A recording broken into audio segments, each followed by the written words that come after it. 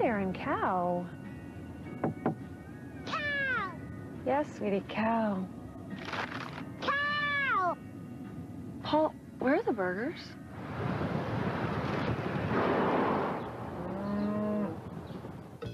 For breakfast, try Chick-fil-A's tasty chicken biscuits, chicken minis, or breakfast burritos.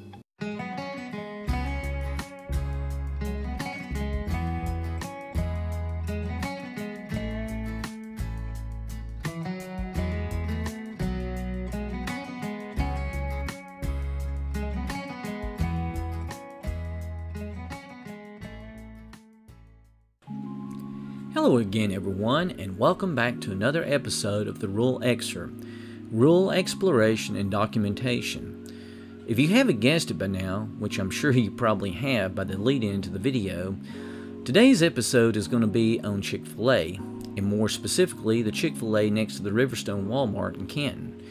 Now, this store hasn't gone out of business, as anyone who lives in the Cherokee County area knows, but has moved down the road across Interstate 575 to a new location where a BP gas station, I think, and Subway shop used to sit to increase the size of the restaurant and redesign their drive through to better serve their customers.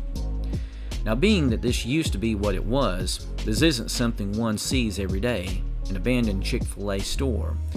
So that's why I decided to film it and preserve the look of this place before it gets bought up by someone and either gets remodeled so much as to be unrecognizable or demolished and something else built in its place.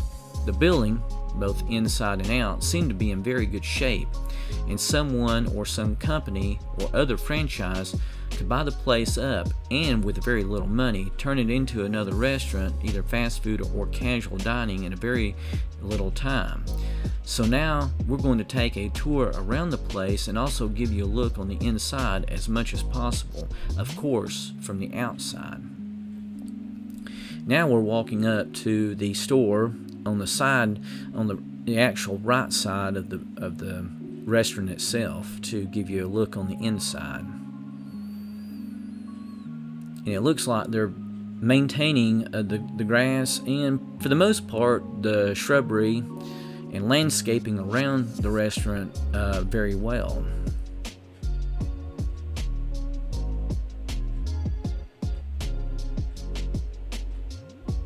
As you can see, the door is very dirty, so um, I apologize for not being able to get too good of a, a shot on the inside across the counter area where you would place your order at. Very dirty right there and getting a lot of reflection off of that. Sorry about that.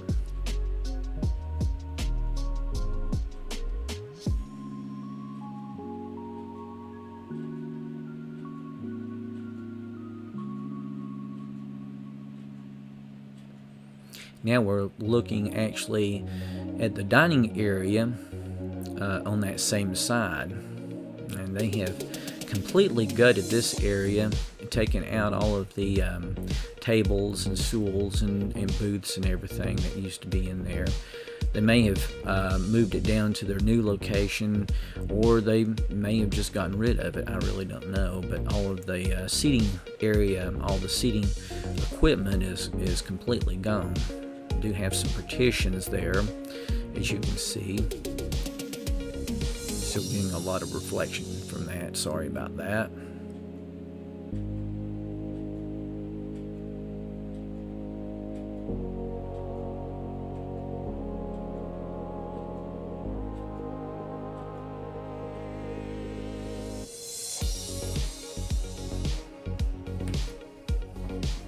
Now we're looking on the uh, the front side of the of the restaurant, looking straight in up towards the um, counter where you place your order at. There are a few tables, high tables over there on the left side, as you can see, that are left. They may be attached to the floor. That may have been the reason why they left those.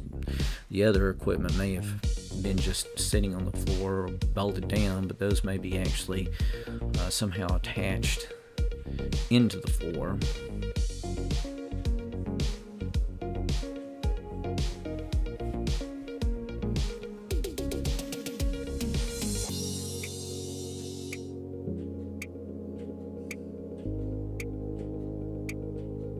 Now we're, we are on the uh, drive-through side of the restaurant, looking across at, to the other side. As you can see, uh, there's a high table right there directly in the front.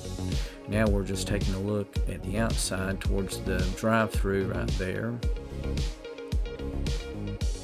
Trying to block the the sun out of the lens so it wouldn't get so much of a reflection, but I got my hand in the way there. Sorry about that.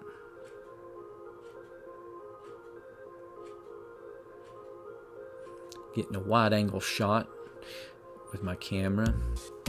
Trying to get the whole restaurant in there.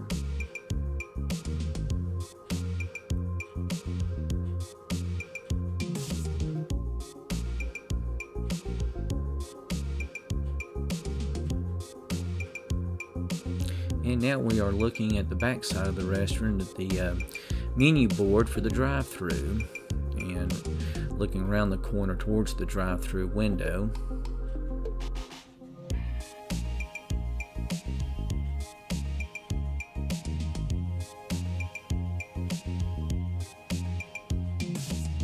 And there's that old BP uh, lot over there where that BP uh, got torn down just recently. I just done a uh, very short video on that showing the lot now that the uh, BP, the, the gas station is uh, building is completely gone. The tanks are pulled up out of the ground and everything. Of course, now we are looking at the uh, menu board itself from a different angle.